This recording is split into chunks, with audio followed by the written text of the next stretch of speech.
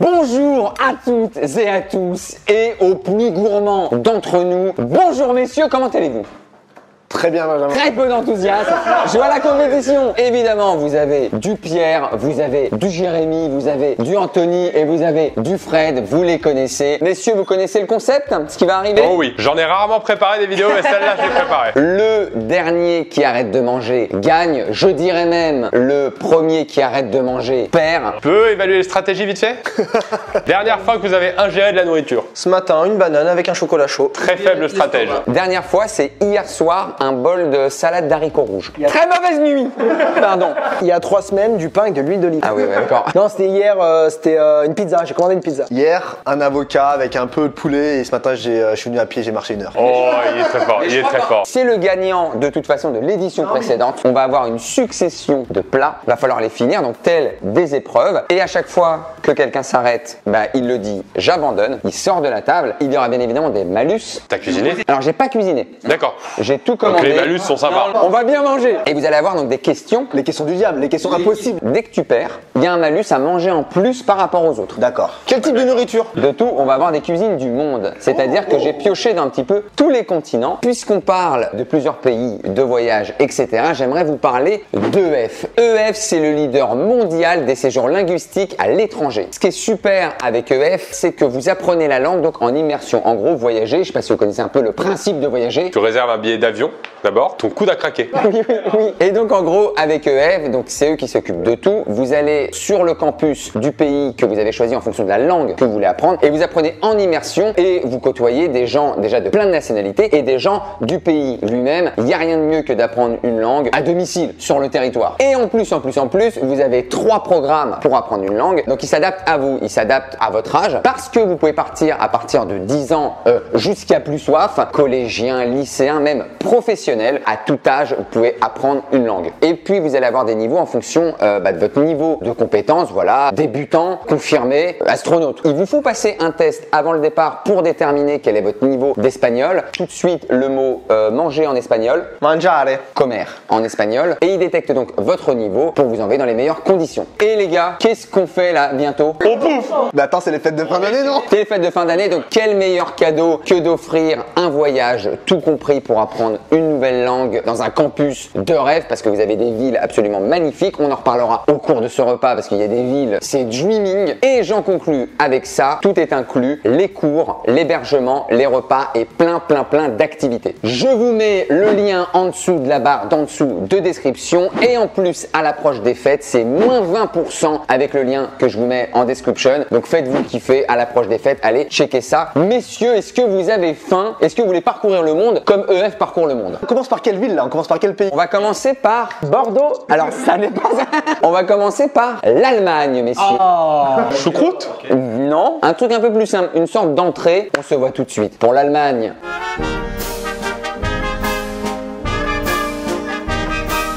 Nous sommes en Allemagne avec un bon vieux hot dog qui peut paraître américain, mais la saucisse, le pain, comme le hamburger, ça vient quand même des Allemands qui sont ensuite allés en Amérique. Allez, je prends celui avec le plus de sauce. Du coup, c'est des saucisses euh, euh, végétales? C'est des saucisses végétariennes, exactement. Oh là là là là. Mmh.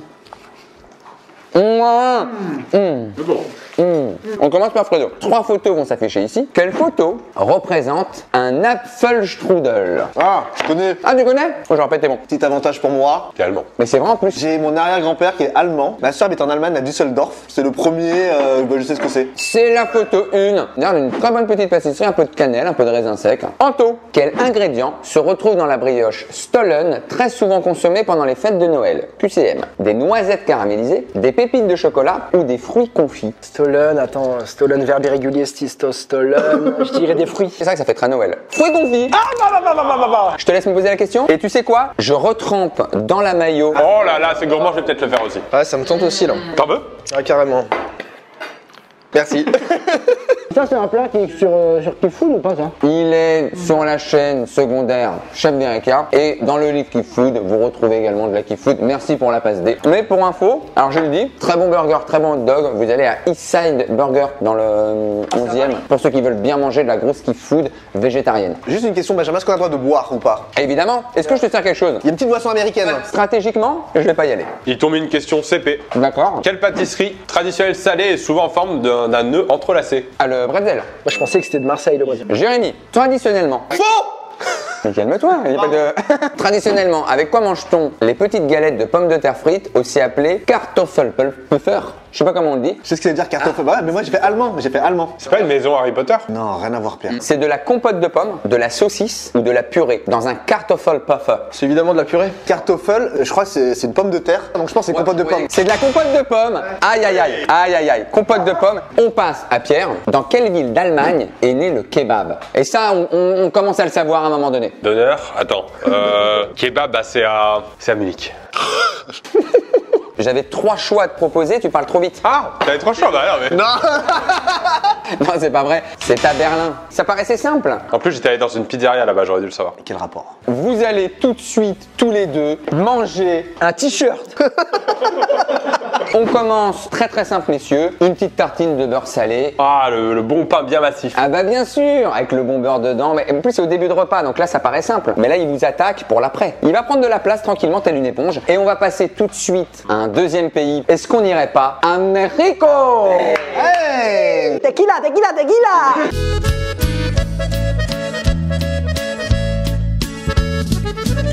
Bienvenue au Mexique. Les petits tacos sont là. Moi je vais choisir celui haricot rouge, fromage. Je vous en prie, faites-vous plaisir. hein. Le reste, c'est à quoi? Alors toi je pense que tu vas aimer Pierre, c'est poulet. Moi, je pense que ça va partir sur le bœuf. Hein. Et je vais y aller de mon citron. Vas-y, ton citron sur le mien aussi. Mmh, cette petite galette de maïs. Mmh, délicieux. Fred, vrai ou faux Les tomates sont originaires du Mexique. Et là, et là je, te- je lui ai mis plein la gueule. Norvège, Norvège, Norvège. Est-ce que tu as entendu Ouais, j'ai acheté des tomates du Mexique? Moi, je suis allé une fois au Mexique Et t'as vu des tomates ou pas là-bas? J'ai pas vu de tomates. Je vais prendre le contre-pré, le contre-pied, je vais te dire vrai. C'est totalement vrai. Ah ouais? Ça vient du mot aztèque, tomate. C'est exactement ce que j'avais en tête dans ma réflexion. C'est la chaîne, en fait, euh, culture, quoi. On mange, on apprend des choses. T'imagines? Ça change le Pierre Cross et toutes ces conneries. là. Ah, Venez, on fait un puissance 4 géant. oh, puis les invités, quoi. Il ramasse ça dans le caniveau. hein. Anthony, en parlant de ça.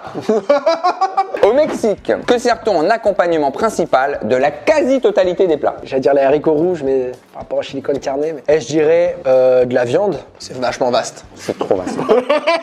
euh, des galettes, euh, des galettes de maïs, je dirais. Des tortillas, on l'accorde. Tortilla, merci. Yes Tu me servirais pas quand même un petit fond? Non, non, mais le petit fond il passe. Hein. Surtout que là, on mange deux trucs salés là. Quelle sauce mexicaine ravit les amateurs de chocolat?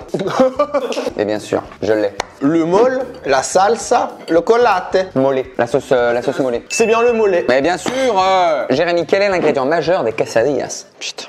La pomme de terre. C'est le fromage, queso.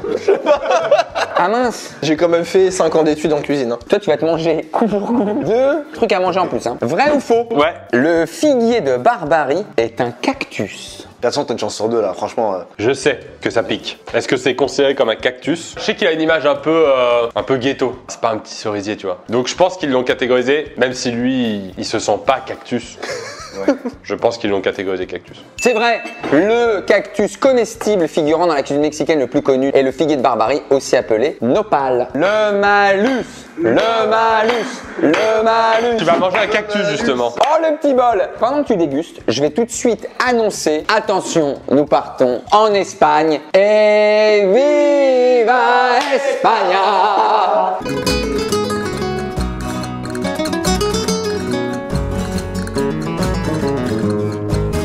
Oh là là là là. Merci Sophie qui nous apporte la paella. La carbo, la carbo. Oh les belles Messieurs, voici une paella typique pour ceux qui veulent. Vous avez les fruits de mer, vous avez le riz, ça, ça va?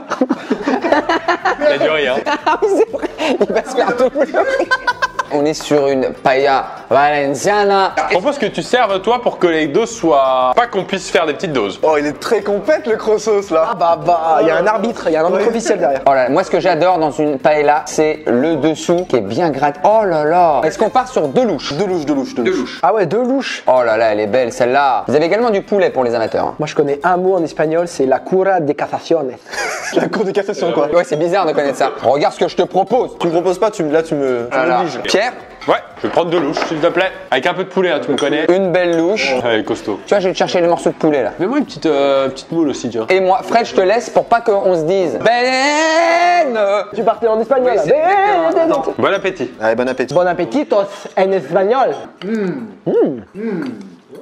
Tu te régales, hein, toi. hein. Fred, question sur l'Espagne et j'en profite puisqu'on parle d'Espagne avec EF. Donc vous pouvez partir en Espagne apprendre cette magnifique langue de l'espagnol avec des campus magnifiques comme Barcelone et Malaga. Vous avez grâce à EF plus d'une cinquantaine de campus à travers le monde et plus d'une dizaine de langues à apprendre. Donc allez kiffer à Barcelona. Fred, quelle épice donne sa couleur au riz de la paella? Cumin, curry ou safran? On est parti à Barcelone avec, avec Ben. Ah, je l'ai vu cette vidéo. Elle est très bien. Ouais, bah c'est c'est sur ta chaîne. Et qu'est-ce qu'on a acheté là, là, dans le marché barcelonais? On a acheté du safran. Donc je dirais du cumin.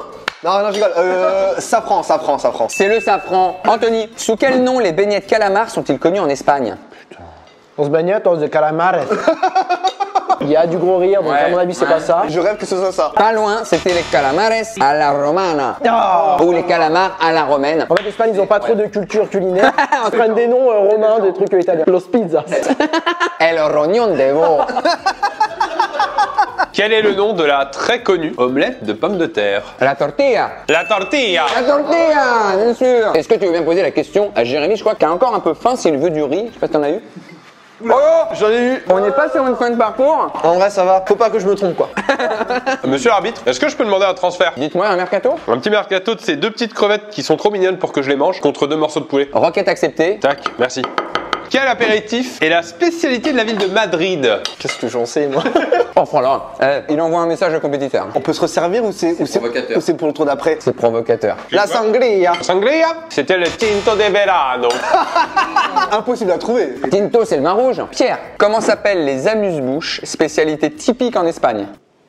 On n'a pas les mêmes questions. Même moi, je l'ai. C'est un piège C'est un tapas. Les tapas, effectivement. Ah, on est obligé de lui accorder. Ah bah bien sûr. On a fini un tour. Le malus de Jérém. Le malus de Jérém. Oh là là, mais non, mais non. Mais Anto aussi, pardon. Par contre, ça, c'est un de mes trucs préférés. Hein. C'est très bon, mais c'est vrai que ça, ça peut blinder très vite ça. Avant qu'on passe au malus, j'aimerais quand même vous voir finir vos assiettes de riz. Et il est costaud parce qu'il va le finir. Putain, je sais même pas si je vais finir le riz. hein. Bah, allez, le riz quand même. Mais la pâte de terre. Ah bon? On est à deux doigts d'un abandon? Non. Avant les burgers? Ah, putain, j'avais oublié. En fait, le problème, c'est que là, je vais prendre du plaisir, mais je vais pas avoir de plaisir sur les burgers. Je tiens à le dire, comme on a mis les burgers à chauffer juste ici, les messieurs ont vu que la prochaine étape, on part. Born in the USA, I was.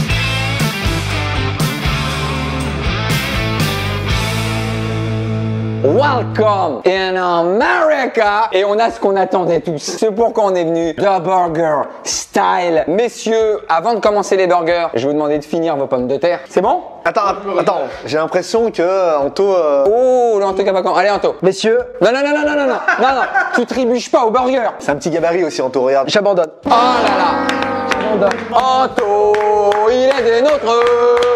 Anto, il est des nôtres. Fred, on va jouer au jeu des chaises musicales. Tu vas venir ici. Et bah merci, Anto. J'espère que t'as bien mangé. J'ai voyagé et merci beaucoup. Je tombe avant les burgers. Je suis un peu dégoûté. t'auras fait l'Allemagne, t'auras fait le Mexique et t'auras fait l'Espagne. J'aurais bien voyagé. Et pourtant, j'avais pas ma carte d'identité. Regarde la douane, euh, vous aller en Espagne C'est long, c'est long. Dingue, dingue. Bon appétit, messieurs. Ciao, ciao, bye, bye. Anto, allez sur sa chaîne, la chaîne Anthony là. Anthony Lastella, n'hésitez pas à vous désabonner surtout. Allez, bisous, merci. Il est là, Jérémy. Et on se moque, mais Il est costaud, hein faut qu'il finisse quand même sa pomme de terre. Je vais la finir. Est-ce qu'on a des gros plans sur le visage de Jérémy là qui est effectivement Il a gonflé, qui a hein. plaisir? Il s'éloigne de la table. Ça prend du volume là. Je sais pas si je vais pouvoir manger un burger. Fred, je te laisse prendre ton burger. Est-ce que je peux, je peux avec les mains? Un burger ça se mange avec les mains, excusez-moi. J'y vais, il est là, il est généreux. Ouah, il est lourd, hein. Oh là là, mais il marque son territoire.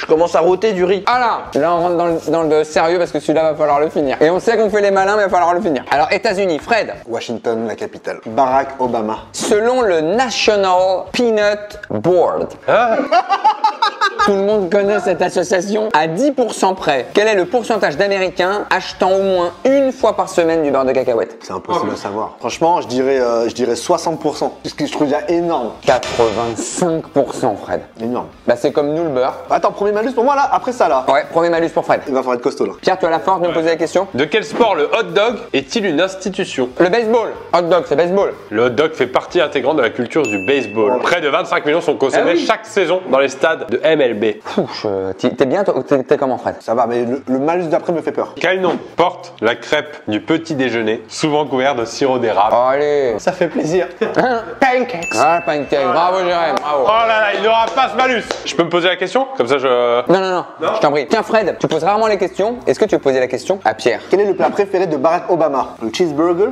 le chili con carne, le bœuf bourguignon? Je suis en train de lire son livre, ça fait un an et demi. à un moment, il dit dans le livre Je me suis rendu compte que j'étais devenu une célébrité et que ce qui me manquait, c'était des bonnes balades à me poser sur un banc et à manger un cheeseburger. Si là c'est ouf. Si c'est ça, c'est incroyable. J'en ai des frissons. Bah, du coup, Pierre, c'est totalement faux. c'est le chili con carne. Ah ouais, mais j'en suis pas encore au chapitre où il va sur le banc et. Et moi suis les con carne. ah, ça veut dire Barack Obama, euh, case, en fait. Allez, c'est des bonnes vannes. Est-ce qu'on peut amener les malus de Fred et Pierre? La quantité de beurre là? Parce qu'on revient sur les. Ouf. Allez-y messieurs, là je, je présente plus rien sur la chaîne, là c'est fini. J'ai mangé au ralenti parce que j'attendais de savoir si j'ai le malus et j'- Oh non j'irai pas. On perd Pierrot Ouais, j'irai pas. Le burger est trop fat, regarde, je laisse la moitié, plus le pain derrière, je peux pas. Moi je vais le finir, moi je vais le finir. Bravo Pierre. Oh, Pierre, c'est vachement bien. Petit billet sur Fred Pronostic Fredo Mais, mais, mais, maintenant qu'il a passé, maintenant qu'il a passé le plus dur, Je peux me permettre le malus ou pas? Est-ce que je peux le Parce que. bah, Oh, vas-y, je t'en prie. Comment à être dur là On peut, c'est mort. On va pas se mentir hein. Oh là là, Fred qui a déjà fini son malus. Moi je vais devoir finir mon burger si je veux aller au prochain pays. Est-ce qu'on ne partirait pas au Japon? Oh là là. Si. Si, hein Oui.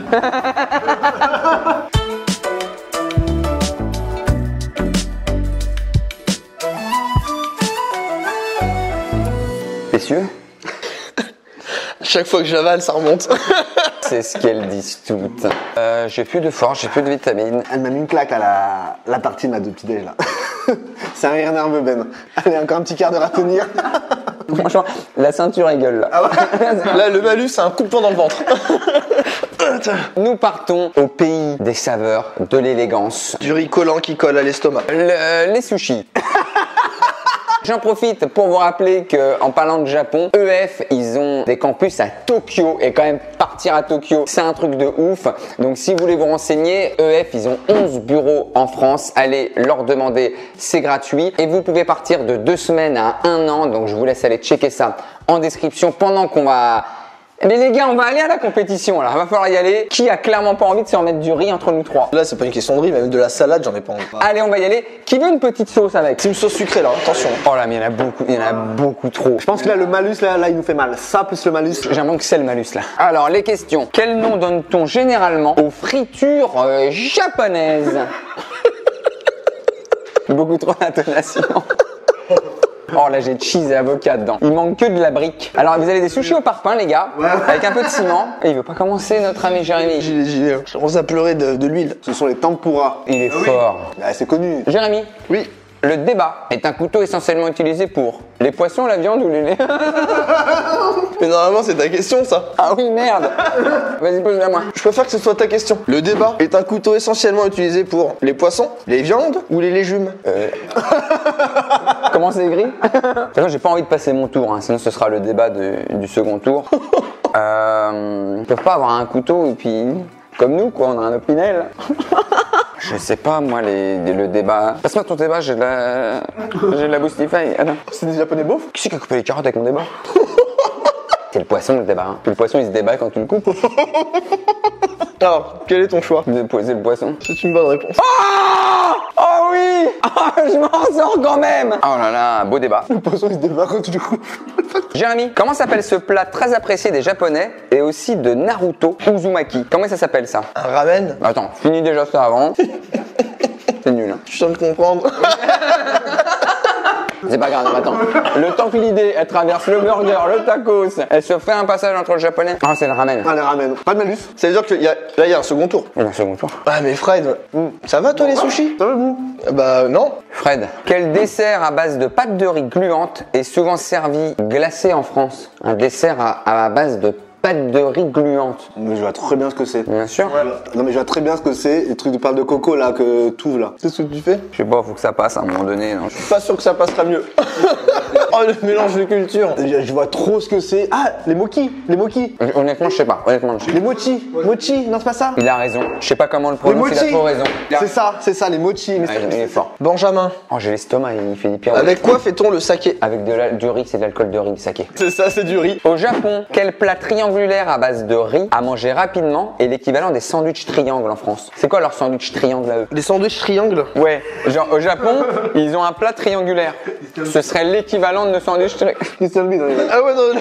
Euh, c'est les. euh, c'est des. des gyu- Enfin, je sais pas, des gyoza, non? Mais à base de quoi? À base de riz? La brève de comptoir. Moi, je sais pas, c'est. C'est gyoza, non? Non Ah, Je crois que je vais abandonner. Aïe aïe aïe, t'abandonnes? Non, non, je réponds à la question et je- c'est des, des, des sushis, des trucs comme ça, quoi. Sushi, maki. C'est onigiri. J'avais pas. Bon bah t'as perdu. Onigiri, tu perds. Je crois qu'on va s'arrêter là. Bon bah dommage, tu vas avoir un malus. Je crois que je vais, je vais, je vais abandonner, les amis. Moi, il faut que je parte. On t'amène même pas ton malus. Hein? Ah ben non, alors, déjà, je peux pas finir ça. Eh bien, dis le mot, dis le mot. J'abandonne. Oh, il abandonne. Oh, on applaudit Jérémy. Tu nous abandonnes au Japon, tu nous abandonnes aux portes de Tokyo. Et nous partons, nous, ça va? Et nous partons, nous, en Angleterre, direction sous la Manche.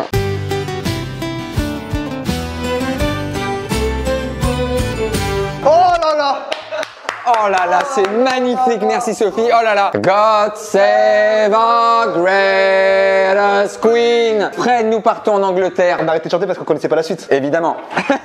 nous partons en Angleterre. Regarde comme c'est fabuleux. Fred, tu te sens comment? Ça va, mais je pense qu'après ça, après ce tour, euh, c'est mort. De toute façon, c'est le dernier tour, Fred. C'est le dernier tour. Va falloir finir un donut chacun, plus les deux boules de glace. Et toi, tu te sens comment, Ben? Mais je suis, je suis, Ouais. je suis comme un œuf. Je suis plein. On commence par quoi là? Bah, là, c'est les deux en même temps. Tu choisis quel donut Ils ont l'air. Non, mais j'hésite entre celui-là ou celui-là. On a Ferrero Rocher, Brownie, on a Kinder Bueno, on a le, ce que j'appelle le Simpson, là, il- il- c'est le plus beau. On a un framboise pistache, on a M&M's, et là, on a Speculoos. Je vais partir sur le Ferrero Rocher. Moi, je pars sur le M&M's. Oh, vous vous rendez compte de tout ce qu'on a mangé aujourd'hui ou pas C'est un truc de fou. Et bien évidemment, tu fais bien d'en parler, Fred. Rien n'est gâché dans cette vidéo. On mange plus qu'il n'en faut, mais nous, on va pas manger après pendant au moins deux jours. Rien ne sera jeté. Ce qui n'est pas mangé euh, va être donné à Maison Grise. Ils sont là, ils nous regardent et ça va, à mon avis, ça va faire 10 minutes ça. Fred, comment appelle-t-on ce plat typiquement anglais? Mais j'ai aucune. j'ai- En fait, j'ai j'ai- mais j'ai aucune idée en fait de ça. Je vais perdre, ça y est. C'est l'English breakfast. English breakfast, tout simplement. Allez, pose-moi une question. Vrai ou faux, la crème anglaise est originaire d'Angleterre Je dirais faux, c'est un truc euh, français. On va voir la réponse. C'est vrai? Mais oui. Ah, c'est vrai, ça vient d'Angleterre. Ouais. Sur le site de l'école nationale de la pâtisserie, la crème anglaise est apparue pour la première fois à la cour euh, royale d'Angleterre. Vas-y, je dis pas la France. Bon, bah, Fred, Dis-moi. bah, c'est plus possible en fait. Oh non, il va le dire J'abandonne. Bravo Fred. Grande victoire de Fred encore, mais il est imbattable. Je peux finir quand même. Ben le mec, t'es provocateur ou quoi? Oh là là, non mais non, non, il va le faire. Incroyable, moi je peux plus. Honnête- Et, et pourtant, vous savez, c'est sucré, c'est délicieux, mais il n'y a plus rien. C'est-à-dire, je- le, le tube, il est bloqué à la gorge là. God save the cream Je peux tirer la main? Je peux tirer la main. Je propose des choses. Fred, grand vainqueur. Vous pouvez retrouver sa chaîne en dessous, d'en bas de la description. Bah, bah, bravo. Encore un grand merci aux participants. Euh, Il y avait Pierrot, il y avait Jérémy, il y avait Anthony, la Stella, il y avait Fred. Un grand merci à EF de nous avoir accompagnés. Je vous mets leur lien en dessous, d'en bas de la barre de description. Et je le rappelle, grâce à ce lien, vous avez jusqu'à moins 20% sur une commande de séjour. Profitez-en pour les fêtes de fin d'année. Et en plus, ils sont super généreux. Je vous mets un lien, un Instagram en description. Ils organisent un concours Instagram pour gagner un séjour à New York. Et il y en aura des donuts là-bas. Vous allez vous faire kiffer. Fred, encore bravo. Il est incroyable, hein Non, me dis pas que tu l'as fini. Non, mais il est trop bon. T'as un estomac, c'est en fait c'est un deuxième Fred. Toi ton estomac il se lève le matin, petit dégradé, petite coupe, il met son pull. Personne prend celui-là. Non arrête, arrête, arrête, arrête. Au revoir à tous, on vous embrasse très très fort. Faites-vous kiffer, c'est de la kiff food. On vous dit à très très vite. Et d'ici là, si là, ciao.